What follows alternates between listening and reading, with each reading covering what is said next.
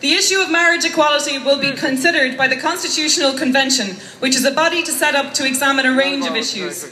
This body will not report back to government with its findings for over a year and a half. And even then, it is up to Cabinet to consider what to do with those findings. There has been some confusion about, about what will happen after the Constitution Convention finishes its work. The Convention can either support marriage equality or not, but it cannot decide whether a constitutional referendum is needed. Only the Supreme Court can do that. Marriage equality could in fact be legislated for tomorrow if there was the political will to do so. A number of eminent lawyers have publicly stated that a referendum is not in fact necessary. Nowhere in our constitution is marriage defined as being between a man and a woman. So action could be taken to introduce marriage equality now.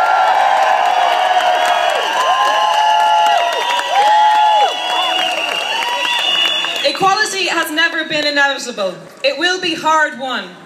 This is why it is so important to keep fighting. The people making the decisions must not be allowed to forget that we are here and that we demand to be treated equally. A state should not expect any of its citizens to wait to be equal. We must be equal, and we must be equal now.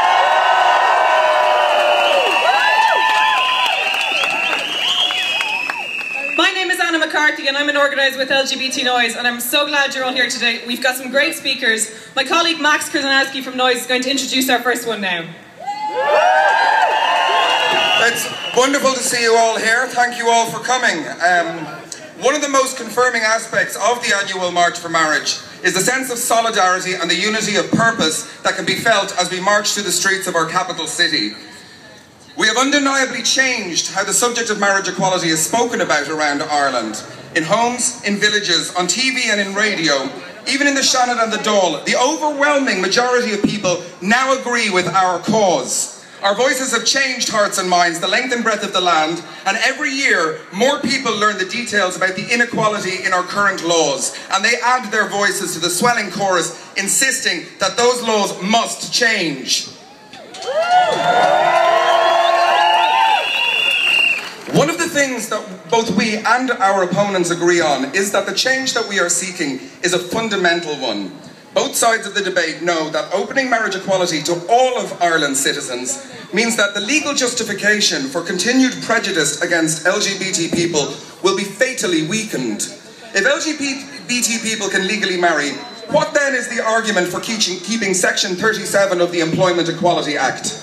As it stands, 95% of primary schools because they are run by the Catholic Church, they have the legal right to fire any primary school teacher for being openly LGBT. This state of affairs is a disgrace, and it has done untold damage to our education system. And but it, and many of the other outrageous laws, will become utterly untenable in a country where women and their wives, and men and their husbands, all sit on school boards.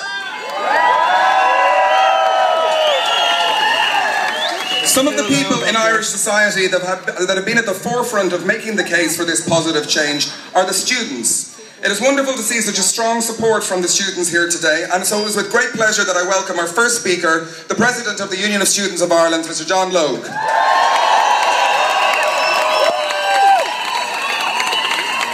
Enda Kenny, support us now! Come on, Enda Kenny, support us now! One more!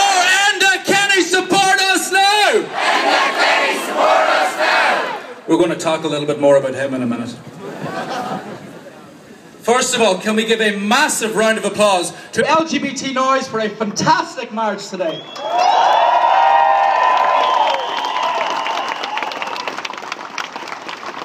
On behalf of the students of Ireland, it is a pleasure to be here today.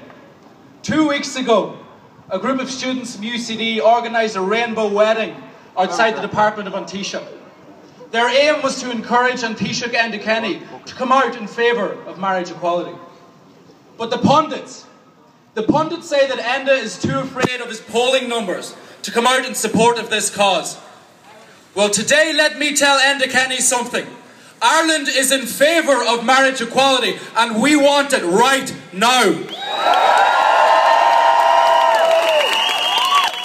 Want a leader who values all of our citizens equally, a leader who stands up for those who need it most, and a leader who knows that the time for justice and the time for equality is always right now.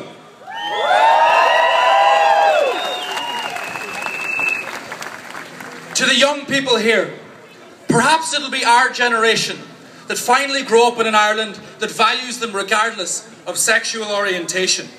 And we are proud of the diversity of our membership.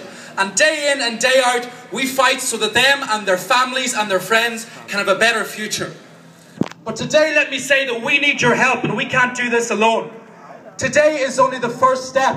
Everybody here needs to go on to tellyourtd.com and let the politicians know that marriage equality has to come in and it has to come in now. Goramila Mahagav Goler, we're going to do this. Let's get it going, everybody.